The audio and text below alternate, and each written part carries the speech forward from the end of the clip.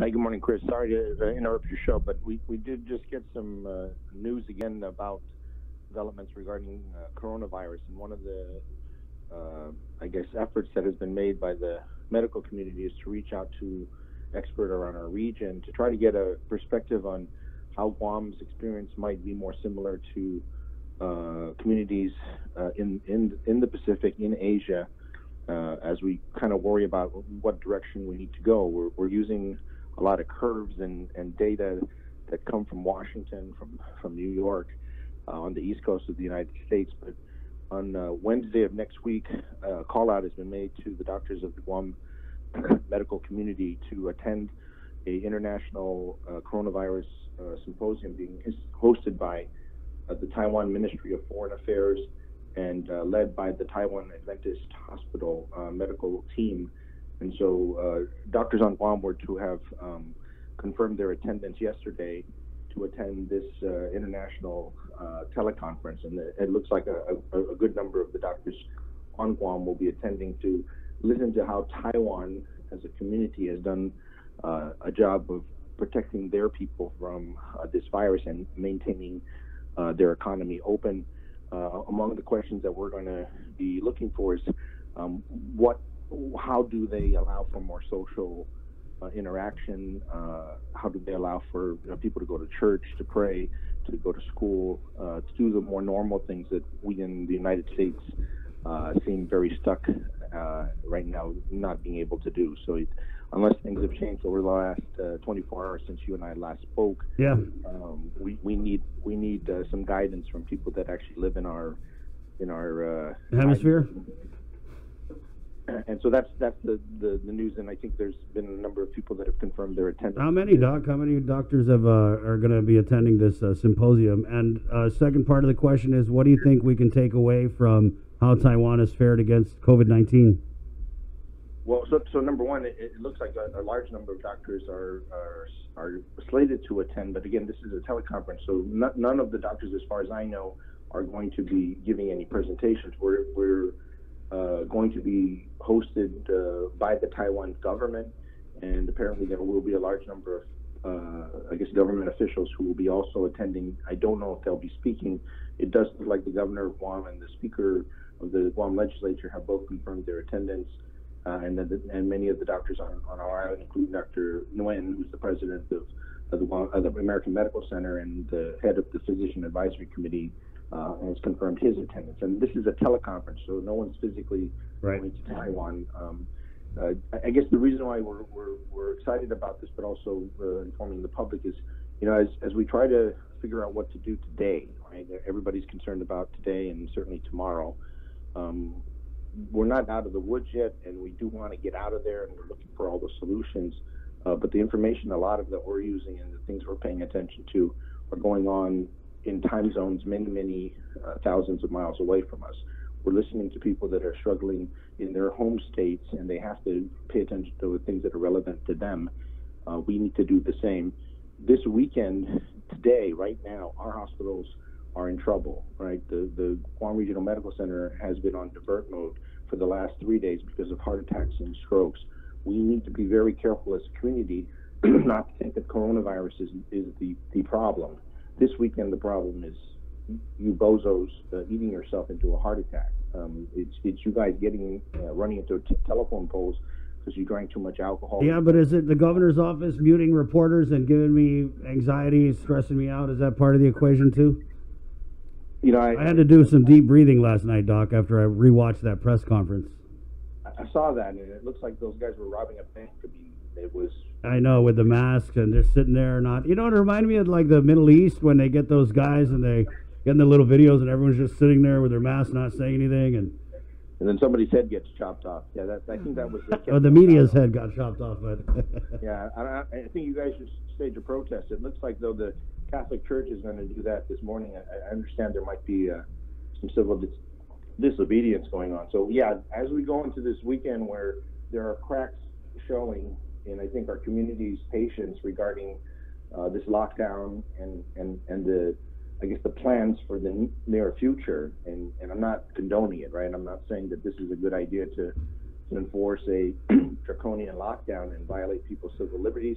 nor am I saying that it's a great idea to just open up and then not know what our medical capacity is. Right. Yeah. And, and certainly, I'm I'm not saying that it's a great idea to uh, somehow be disrespectful to, our mili- military neighbors who have brought a tremendous amount of military medicine uh, resource and, and, have indicated that they, they are our neighbors and that they will help us if the if the problems arise. Uh, I think that we should look at all the situations we're in and be very careful not to assume that we know better and then don't have a really good plan on what we're going to do next week, right? So the, the, the conference with Taiwan on Wednesday gives us chance to speak to people who have been living it longer than we have. The Taiwan people responded back in January.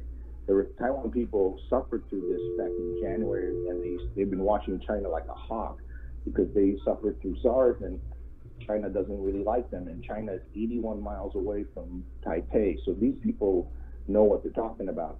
And not a lot of them have died. Not a lot of them have really gotten sick. Um, they're still struggling to figure out what to do, but the economy is way more open than ours.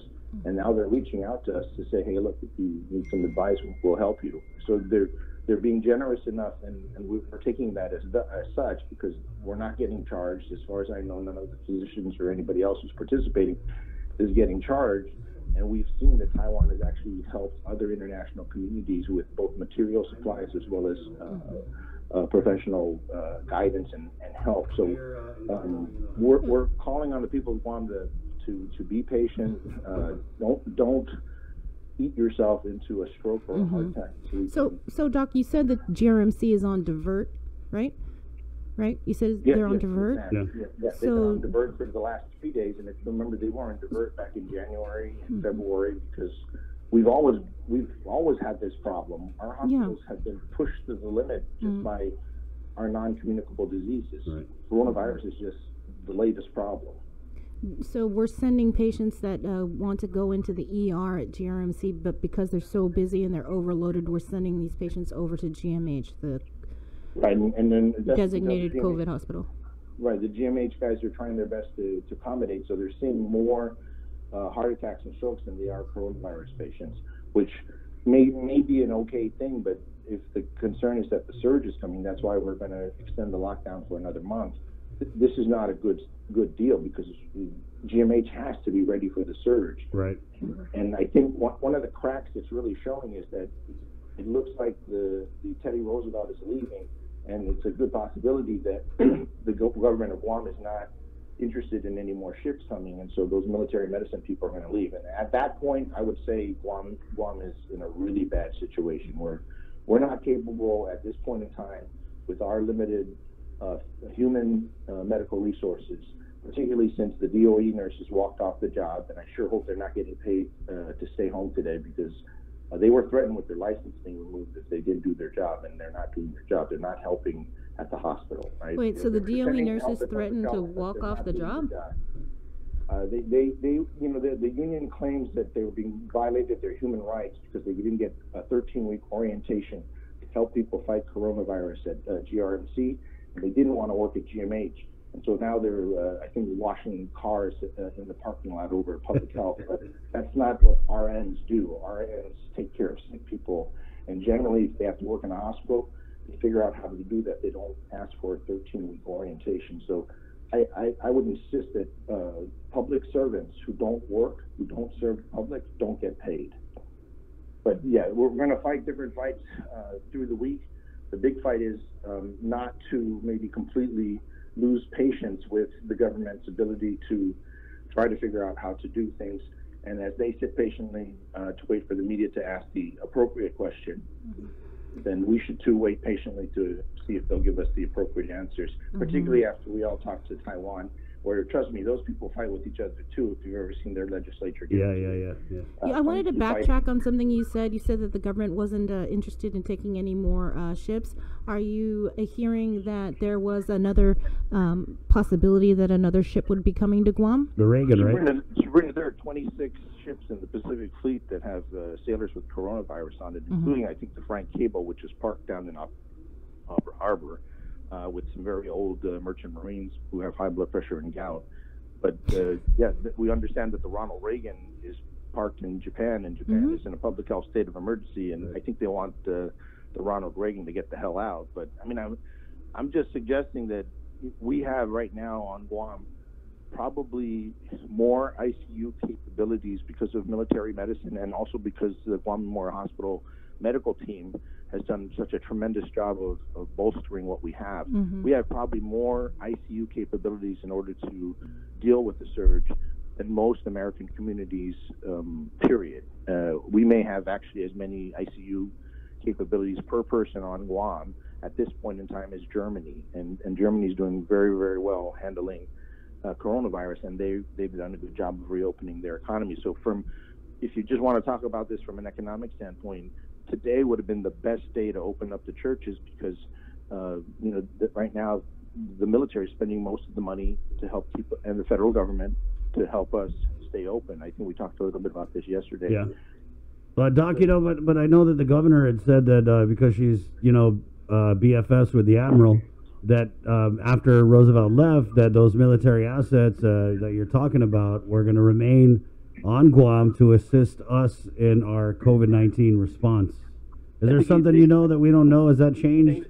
I think that what they meant is they might leave the tents up for a while and they might leave all the machines, but certainly I think all the people are going to go home if, if there's no aircraft carrier here, and so it'll be like the Jigo amusement park uh, roller coaster, uh, or or any Memories. that the government of Guam gets, you know, where they they don't have a plan on how to use it and they don't have personnel Right. that are willing to get 13 uh, less than 13 weeks of orientation to show up and work. I mean, that that get, keeping their military assets, the physical assets, would be like having DOE nurses. Mhm. Uh, You know- they don't they don't get the job done. And the governor just toured the emergency, uh, the expeditionary medical facility this week. The p- pictures are all posted on the Joint Region Marianas uh, uh, Facebook page. And even Dr. Mike Cruz, he met with some special task force of uh, n- that the military has. I think they're from somewhere else, not not from here. And I believe it is like a team of physicians and, and, and nurses. Yeah, they're here, and these are people. Mm-hmm. These are doctors and nurses from around the country. Mhm. They're being taken away from their home, uh, you know, their homes, uh, to to take care of us. It, it it is, I think, a hardship that they're not going to extend very long if there are no uh, sailors, you know, on aircraft carriers here. Um, I, I don't know what the governor has told the, uh, you know, Joint Region Marianas, but I, I think from the medical community side, their being here helps us, and they're if, if they've agreed and they will be good neighbors and help us if we need the help. I'm not saying that they're going to do our jobs.